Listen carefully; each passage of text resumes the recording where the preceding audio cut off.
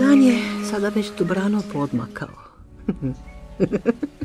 pa ipak, za cijelo je još prerano za moju pjesmu. Ne valja pjevati prerano. To donosi nesreću, ja to uvijek kažem. A, a opet, s druge strane, događa se da čovjek čeka prerano. Nas dvoje rastavlja način života. Ja te ne volim i neću te voljeti. Ja se bojim tvoje ljubavi. Ti ćeš me jednoga dana uvrijediti zbog toga što me sada toliko voliš. Ne vapi tako strašno.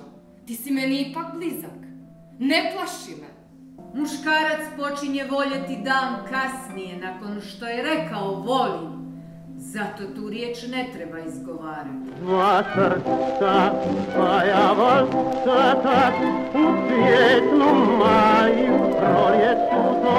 Dva srca, volca tak, kroz notu tak. Oh, jadno, mili, nesretni gradu moj.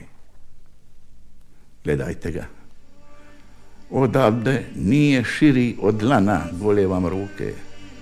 A rastvorite li prste, izmjerit ćete jednom jedinom oktavom duljinu pruženog mu tijela.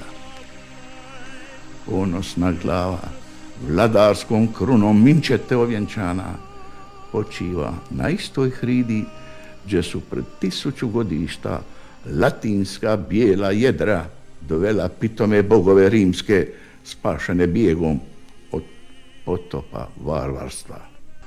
San je smrti to, ali ljepši od života samoga.